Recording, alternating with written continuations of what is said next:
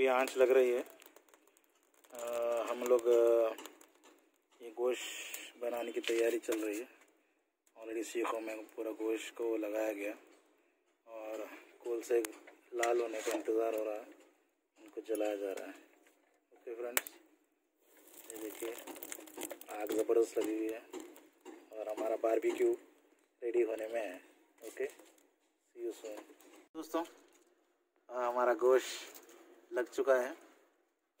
और इसे खूब झपकना चाहिए, जिससे जो है नीचे से आग आ रही है।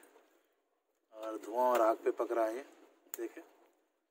तो देखेंगे ओके। ये देखिए, हमारा ब्रोस्टेड, या क्या बोलते हैं इसको? गोश्त का कबाब, या इसको बारबेक्यू बोलते हैं एक्चुअली इंग्लिश में। तो हमारा बारबेक्यू आधा पक चुका है।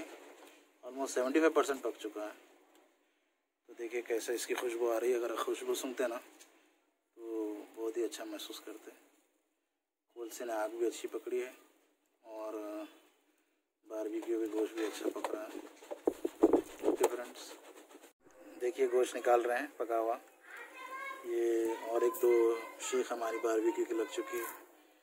और ये हमारा गोश्त बेहतरीन सा, बहुत ही खुशबूदार आप देख सकते हैं। बेहतरीन। देखिए दोस्तों दूसरा राउंड चल रहा है। ये भी बेहतरीन तरीके से आपको शायद धुआँ और आग नज़र आ रही है। देखिए कितना ज़बरदस्त तरीके से इसमें धुआँ आ रहा है। और बेहतरीन तरीके से हो तो देखिए हमारा बन चुका है बारबेक्यू चारकोल पर।